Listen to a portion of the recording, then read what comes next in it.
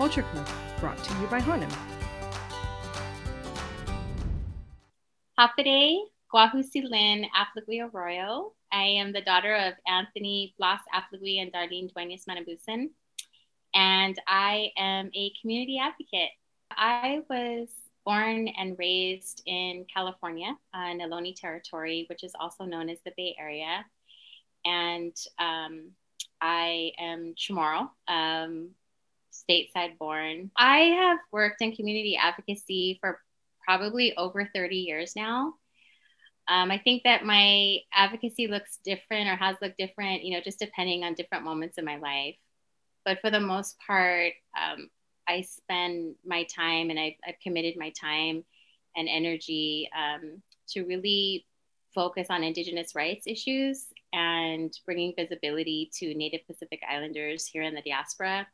and more specifically, making sure that Chamorro voices are also being represented. Um, and so I've worked with different um, different student groups over you know over the last 30 years whether that's on university campuses, um, high schools, just to bring access to education. Um, and also, I've worked around um, issues around climate justice and protecting sacred sites. Um, as I mentioned earlier, I do live on Ohlone territory. So, you know, it's helped me to really understand um, other Indigenous communities and what they're fighting for as well and there's a lot of parallels to our histories. And so um, I've just found that, especially living here in the Bay Area and being around so many um, other Indigenous communities, that we really work collectively and support each other in our efforts um, for different, you know, um, issues around social justice. I've also, you know, helped. I help to just organize different Pacific Island events um, in support of like Pacific Island arts or education and I just really try to find ways to, to support our community. My community advocacy work started when I was really young. Um, as a child, I just remember uh, my Nina sending home you know bulks of guam papers to my family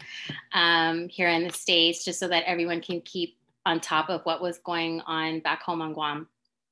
And i just remember you know different conversations as you know when i was very young um, my family members just talking about different things that were going on politically back home and just a lot of storytelling you know back and forth and i just think i paid attention to all of those and then moving forward i think it really started or there was a fire that was sparked when i entered college i, I um, attended uc berkeley for my undergraduate studies and I was an ethnic studies major. And I think, you know, I just started to learn about histories of the most um, marginalized communities. And I really, I think for the first time, saw myself um, in those histories. And I never had before, you know, growing up and, and taking history in high school was always, I actually hated history um, because I think I never just saw myself in that but then when I was in college, you know, and I started to learn about a lot, of, uh, you know, primarily about a lot of Black and Brown communities, I really saw myself in there, in those histories, and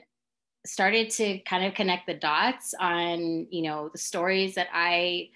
I heard from my from my family and knowing the history of Guam and our relationship with the United States and then you know just my own experiences I just you know started to kind of make those connections that there were so many injustices in the world and they were all connected.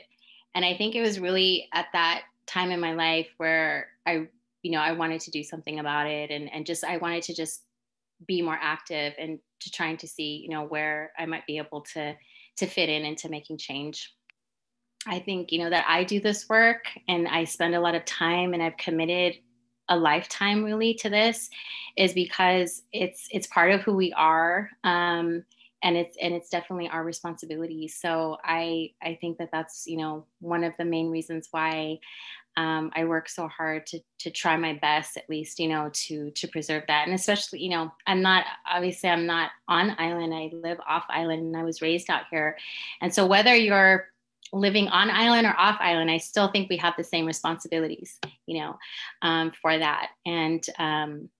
and that we, you know, out here in the diaspora have also kept, you know, those those values, those Chamorro values. I think for those that are working in activism and advocacy, it's really the work is really rooted in love, and um, it's like this deep, unconditional love for something. And I think that that's where the you know where where people get or folks get so passionate about a certain cause or you know fighting for something it's because it's really coming it's really rooted in in in their love for something um and i say that because i think there's this stereotype that activists you know they're just full of hate you know and they want to just you know fight fight fight and like really that that's coming from a place of of um of just of hate. And I, i've had those conversations before and i think that you know for anyone that's doing the work we know that that's not where it's coming from. It's really rooted in in love and good intentions you know that that our intentions are really um, are nothing but positive for change because we want you know we want something to be better or that we care about something so much you know like we care about our culture we care about our people we care about our land we care about our water um, i think like you know that's just all all rooted in something very and very special and, and rooted in love Culture Club, brought to you by Hanom.